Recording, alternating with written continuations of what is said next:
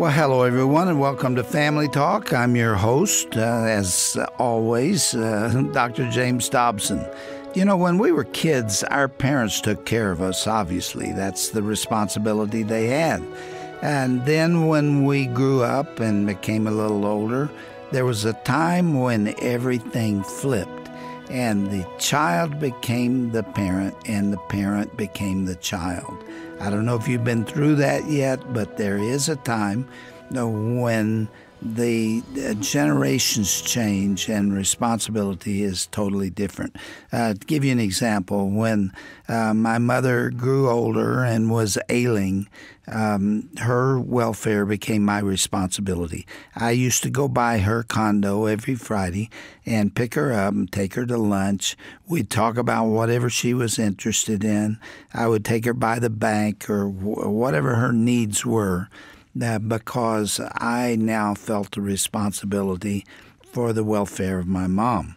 Uh, that's the way it works. You live long enough, or if your parents live long enough, then uh, you uh, take care of them in a different way. Now, after my dad died, which uh, was devastating to my mother, um, she could not cope. I mean, she loved my dad so much that she never got over his sudden departure, sudden heart attack. And uh, she came down with Parkinson's disease. That was about five years after his death. And then she really needed help because eventually, even what I could provide was not enough. And uh, we had to keep her in a nursing home. Um, and I would go by to see how she was doing and so on.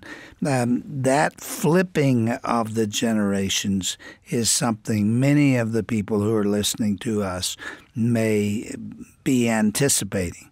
Uh, it may not yet have occurred, but if they live long enough, it will, and you need to prepare for that. And so on today's program, we're going to hear from a speaker named Grace Chavis uh, as she shares her experience caring for her elderly parents and in laws. Uh, Grace went on to be with the Lord on May 6, 2015.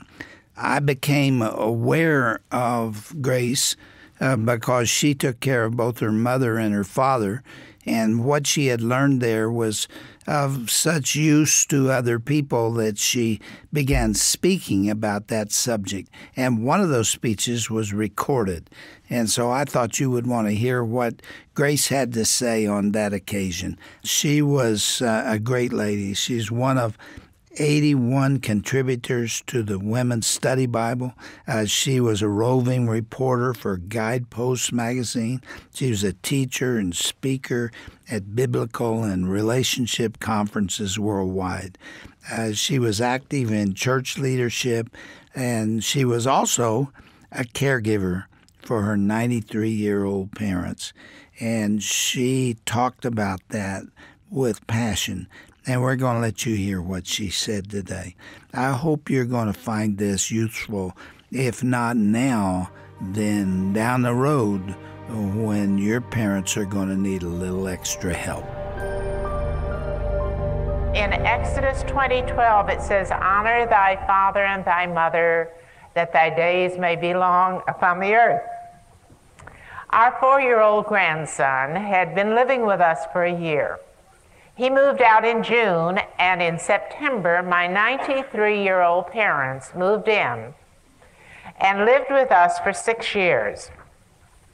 Now, two years before, we had told them, you know, we have an extra bedroom, and you are welcome at any time. But then we did not press them, just assured them from time to time that they would be welcome. But we watched their deterioration with anxiety. At 93, my father still was driving like a teenager. Couldn't stand another car in front of him. He'd go around whether there was room or not. Never saw a red light. He'd slam on the brakes at the last minute. He would zoom into the church parking lot, and the deacons would shake their heads and say, Grace, take that car away from him. I want to give you nine suggestions on how to care for your aging parents, and if you have the handout, I have listed those. The first one is let them be independent as long as possible. Just because they're in their 70s or 80s, don't force them into your home or into a nursing home until they want it or it is absolutely necessary. More and more, our people are growing older. They're living to a ripe old age, and only 15% of our elders live with their families. 80% of us are independent or semi independent and good enough to grow a garden or swim or dance or whatever. Now, only 5% of people over 65 are in nursing homes. The lowness of that figure shocked me. But these are mostly people who are seriously ill physically or mentally. Like one pastor went to visit this elderly woman in a nursing home, and she had some peanuts beside the bed. And you know how you'll do? You reach over and you eat one, and then you eat another and you eat another, and all of a sudden he realized he had eaten all of her peanuts. And he said, Oh, I am so sorry. Please forgive me. And she grinned and she said, Oh, that's all right. I can't eat those peanuts. I just sucked the chocolate off.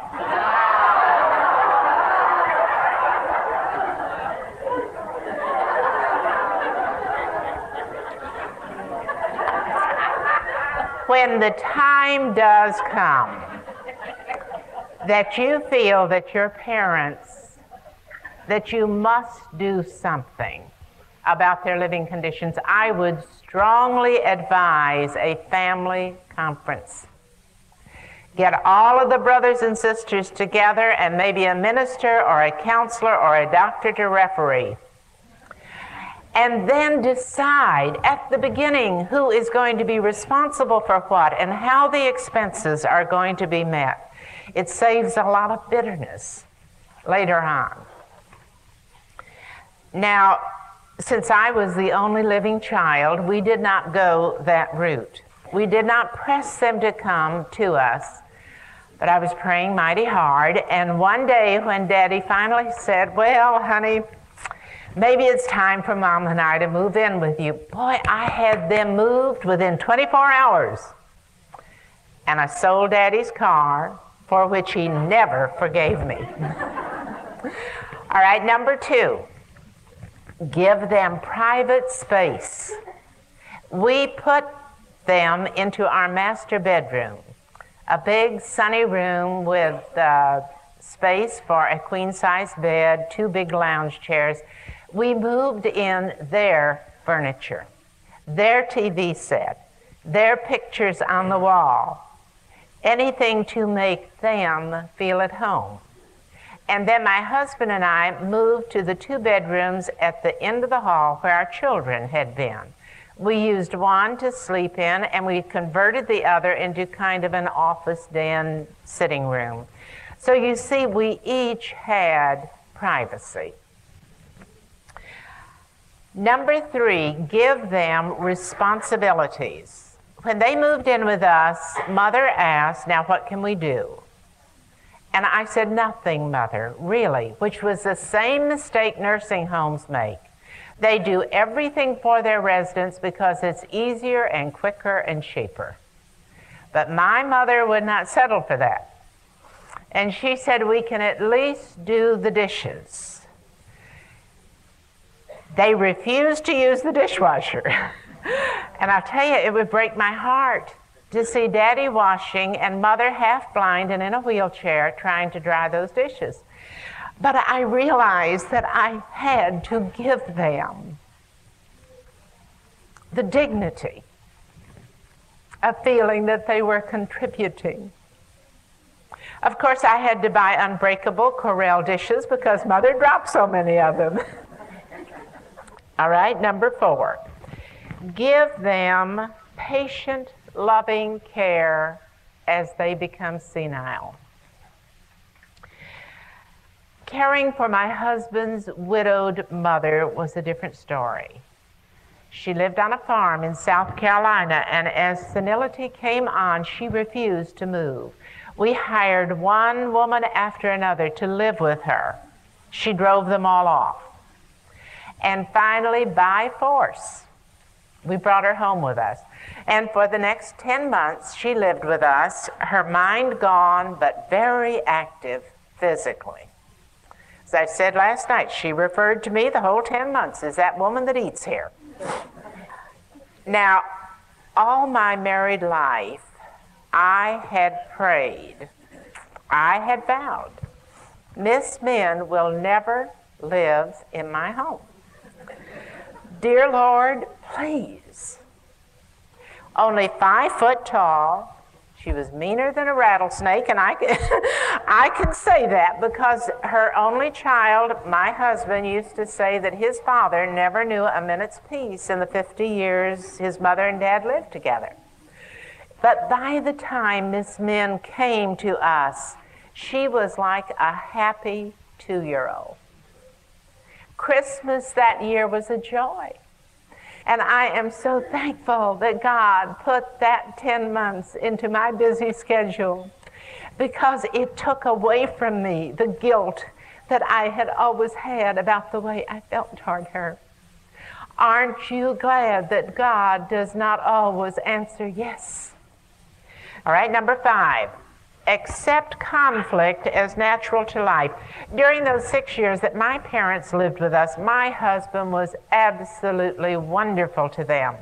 However, about three or five times a year, three or four times a year, he would finally have it right up to here with my dad telling him how, when, where, what, and to do with his fruit trees in the backyard. And the explosion always came at the lunch table. I don't know why, but it did. And Coley would yell at my dad, at which time my father would say nothing, and my mother would look at my dad and say, Sam, we don't have to put up with this. We'll just go and rent us an apartment of our own. And daddy would say, Yes, and we'll buy us a car.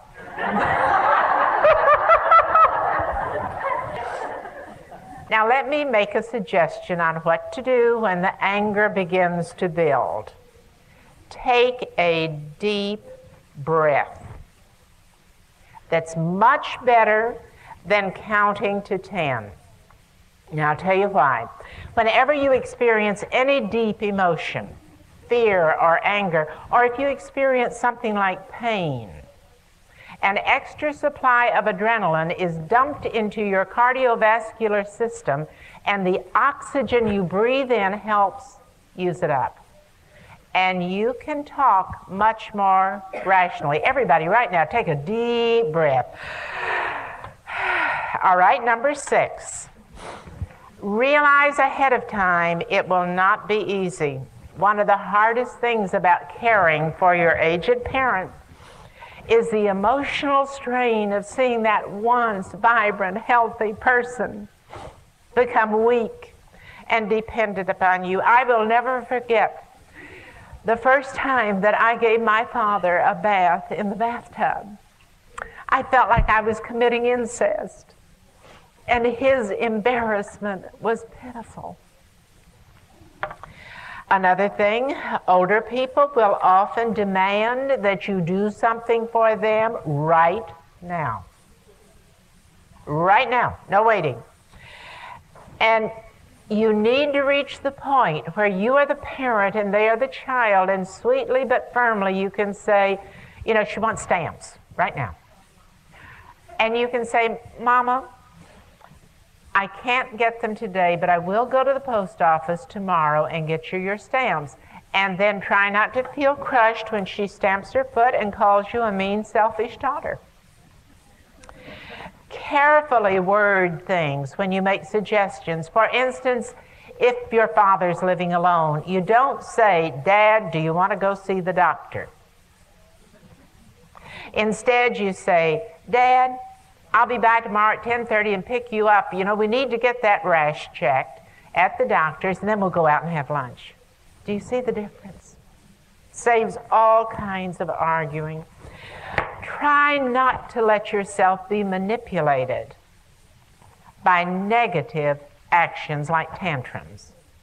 Try not to give in to things like that. Reward positive behavior every time they do anything for themselves. Brag on them and reward them. Remember, they are becoming like children. It is not easy to have a beloved parent begin to view you with suspicion, begin to accuse you of laughing at them. But now just think about it for a moment. Suppose your eyesight were getting dim and your hearing was going, and someone across the room was laughing. It would be the easiest thing in the world to think that they were making fun of you. It is not easy to watch a loved one suffer. Mother had a massive stroke two months before she died. Now, the doctor said all the hospital would do would be to give her custodial care. She was totally blind by then and so frightened that we bought an electric hospital bed and kept her at home with us. I'll never forget that first night. They had slept together for 70 years. And when Daddy saw Mother in that bed with the rail up, he looked at that, he looked at the queen size bed, and he looked at me and he said, Where am I supposed to sleep?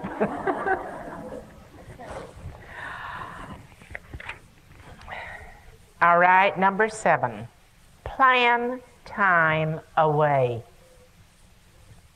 Oh, beloved, if you have someone, small children or aging parents living with you, get away, totally away for a few days every once in a while.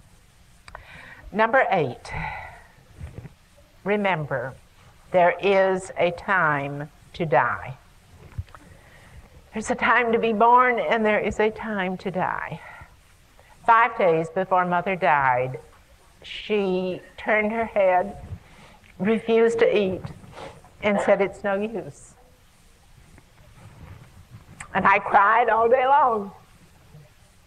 The next day she did eat something. Whether she forgot or it was too hard, I do not know. But five days later, she died very quietly in her sleep, four months before her 99th birthday. Eight months later, my father died one month before his 99th birthday. I remember one day, two months before he died, he walked up to me in the living room and he said, Could I stay here a couple more days? And I said, Daddy, you live here. I am your daughter. And he smiled so big and he said, You are? Then I can stay. And he trotted happily away. Now, the day before he died, I realized he was going. I realized congestive heart failure was setting in. He did not seem to know what was happening. He did not seem to be in any pain. The morning that he died, he ate a full cup of yogurt, bless his heart. And then God gave me a beautiful present. I realized his mouth was dry, and I made the mistake of trying to put a teaspoon of water in while he was laying down, and you know, he almost choked. And I hit the button, and it brought his bed up like this, and we were eye to eye. And for the first time in a year, I saw total recognition and such love and such peace. I know he had one foot in heaven and we just looked into each other's eyes. And then the eyes glazed over, and I laid him back down. And about an hour later, he was gone. And then finally, and the most important, number nine, is pray. Pray with your Bible open before you so that God can talk back to you. When you pray, do you do all the talking? I remember about a month after mother had died, I had made the mistake of saying that I would do a series of lectures, and I was trying to put them together. Daddy was stumbling and falling all over the house. My husband was facing possible surgery. And uh, that night before, my live in help had quit. And I'll tell you, I was just standing there before the Lord, crying out, Lord, I cannot take another thing. I, I can't. Everybody is pulling on me. Please help me. And then, very wisely, fortunately, I began to read the Bible and let Him talk to me. And all of a sudden, I came to Psalm 16:8, which says, I have set the Lord continually before me. Because he is at my right hand, I will not be moved. Heart, body, and soul are filled with joy, and they were. I just sat there rejoicing for a while. I knew I could make it. But now, suppose I had spent my entire hour with God crying out, Oh God, I can't, I can't. God could have been leaning over the parapets of heaven, trying to get his message through to me, and I never would have heard it because I would have been so self centered. Let him speak back to you through the Bible.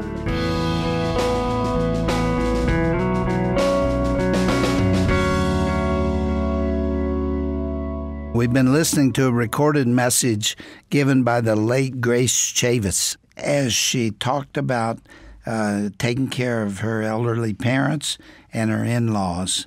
Again, I'm James Dobson, thanking you for listening to our program today. We're excited to bring you some classic shows like the one you just heard, but also some fresh new shows. We know you'll be encouraged and inspired by these upcoming programs. To do this, obviously, we rely on you uh, our ministry is completely supported by the listeners uh, to this program and their tax deductible financial contributions. If you're able to help us to continue this work, we would certainly appreciate it. Again, the number is 877 732 6825. Why don't you give us a call when you have time? We covet your prayers. We thank you for your assistance in our ministry to preserve and promote the institution of the family. Well, what a remarkable woman of faith Grace Chavis was. She sure had some great advice for those of us currently taking care of a family member or anyone who might someday care for someone in their golden years. Now, if you'd like to listen to any part of this program you might have missed, or if you'd like to share today's broadcast with a friend or family member who needs to hear this good news, visit us online at drjamesdobson.org forward slash family talk. That's drjamesdobson.org forward slash family talk. You know, as we think about family members who have entered into their golden years, their senior years, as it were, you realize that public policy and decisions made on behalf of the elderly are more and more important each and every day. If you haven't listened to the weekly podcast from the Dr. James Dobson Policy Center yet, you really need to check it out. It's called the Defending Faith, Family, and Freedom podcast, and it's hosted by Gary Bauer. Gary is the Senior Vice President of Public Policy here at the Dr. James Dobson Family Institute. He shares his unique perspective on current public policy issues affecting the family through the lens of the U.S. Constitution and an unapologetic biblical worldview. Now, if you want to listen in, all you have to do is go to our main homepage, drjamesdobson.org, and then select the Defending Faith, Family, and Freedom podcast. You'll be directed to the podcast page, and once you're there, you'll also be able to select your favorite listening platform like Google or Apple, Spotify, or Stitcher. Then just sit back, listen, and enjoy to the Defending Faith, Family, and Freedom podcast with our own Gary Bauer. You can find that information at drjamesdobson.org. You know, one of the beauties of listening to the wisdom of Grace Chavis is he can help you understand a little bit more the role that children have in caring for their parents and honoring their fathers and mothers during their golden years. We're living in a culture right now that doesn't seem to understand that. As a matter of fact, we live in a culture right now that doesn't really seem to understand the difference between men and women, let alone how to define those roles. Well, when you go to drjamesdobson.org forward slash family talk, be sure to click on the link for a brand new PDF created by the Dr. James Dobson Family Institute and Dr. Owen Strachan to encourage moms, wives, sisters, and daughters and affirm what God's design for women really is. The PDF is titled, What is a Woman According to God? And to download it, it's absolutely free. Go to drjamesdobson.org forward slash family talk. That's drjamesdobson.org forward slash family talk. I'm Roger Marsh, and on behalf of everyone here at the JDFI, thanks so much for making Family Talk a part of your day. Be sure to join us again next time right here for another edition of Dr. James Dobson's Family Talk. This has been a presentation of the Dr. James Dobson Family Institute.